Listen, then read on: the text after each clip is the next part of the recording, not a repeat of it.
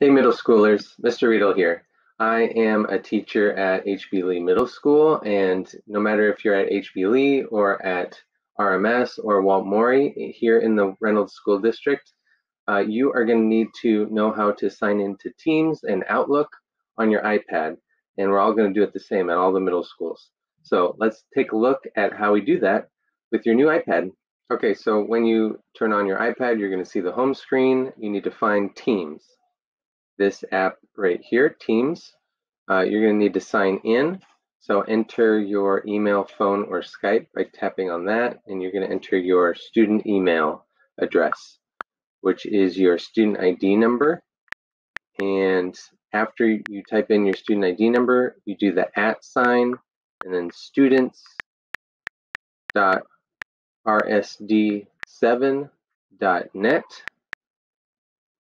and that is your student email address. So go ahead and tap sign in and then it's going to ask for your password. So go ahead and type in your password and you should have already gotten your password when you got your iPad and then tap sign in. You can see this little thing moving here. It's going to take a minute or two to sign in and then you want to make sure that you allow notifications and stuff and then this is what it looks like. You have activity feed here on the bottom and then the chat window and then um, the teams window and there's nothing in there right now because uh, it hasn't gone through yet since it's the beginning of the year. If you tap on assignments then it will show that some of your classes are listed but they haven't been activated yet. So eventually they'll be activated and then you'll have assignments. If you tap on calendar, you can click OK. And this is where your events and stuff will be for Teams. And then you can tap OK to access con contacts. And this is where you can call people, friends, and there's other apps too that you may or may not need. So let's go back to chat. So if you tap this button at the top, to start a new chat, you can enter a name, email, group, or tag.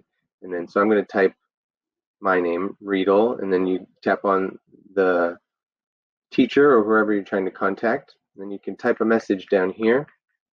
Hi, Mr. Riedl, I have a question. Can you please help me? Thank you. Then you tap the little arrow to send the message.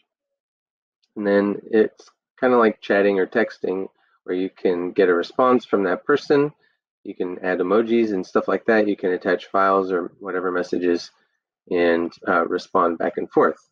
So that is the chat function on Teams. And it's not just teachers, but any other employees at the school or um, your friends you can chat with too.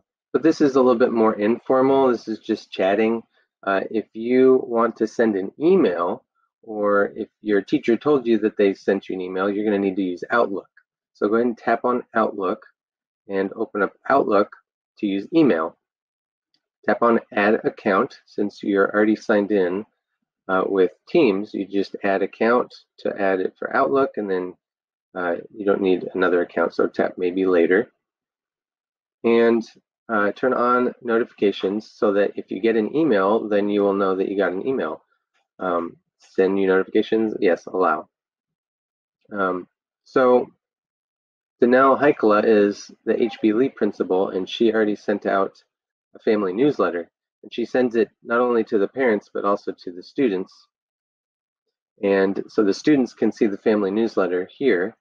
And you can see she sent the message and the link so that you can read the newsletter. You can just tap on that link and then read it.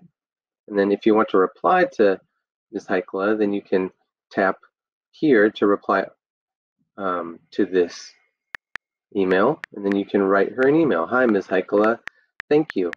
And sincerely, your name, um, whatever you want message you wanted to tell her if you want to send her a message. You don't have to. Go ahead and send that by tapping that if you want. Um, and then you can look on the left and see there's a bunch of emails. If you want to send a new email to anybody, then you tap on this button here, and then you, let's say we want to send a message to Mr. Riedl, you type in Riedl and then you find me in the list, or you can just type in my email address here. Um, write in the subject and then write the message. This is a little bit more formal, so you want to write it kind of like a letter, whatever the message is that you want to write. Usually emails are a little bit more formal than chatting on Teams or something like that. But whatever method you want to communicate with your teacher, that is fine. And send it by tapping on that arrow in the corner. There's also other stuff in Outlook, like a calendar here at the bottom, and a search bar where you can search for stuff in Outlook. So that's just about it. Outlook is basically used just for email.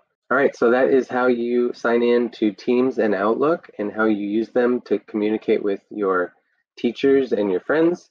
And hopefully that will be useful to you as you start the new school year. All right, thanks for watching, you guys.